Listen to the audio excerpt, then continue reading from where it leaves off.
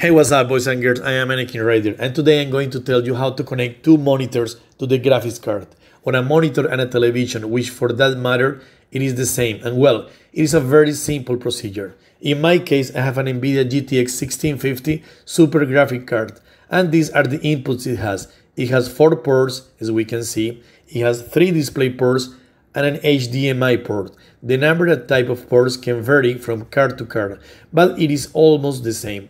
So surely this tutorial will also work with your graphics card, even if it is different from mine. One thing that we are very possibly going to need to connect the two monitors to our graphics card, they are adapters. As an illustration, I will show you these two that I have. The top one is a male DisplayPort to a female HDMI adapter, and the bottom one, it is a male DisplayPort to female VGA adapter. I have these two, but in the market in Amazon, you can get all the adapters you need and all the adapters you can imagine.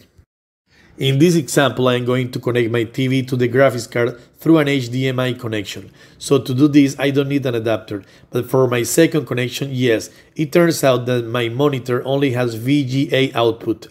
And my graphics card obviously does not have a VGA port. So in this case, I will need the display port to VGA adapter to make this connection.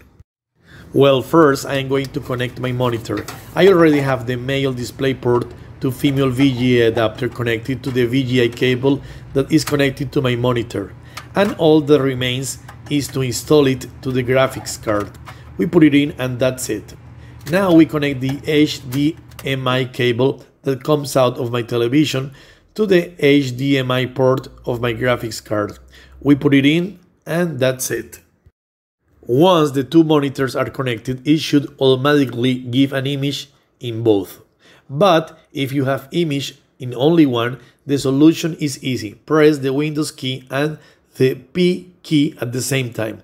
Then choose to duplicate the screen and that's it. Well friends, I hope this video has been useful for you. Leave a like, comment, and if you like my content, do not hesitate to subscribe to my channel. Be happy, bye bye.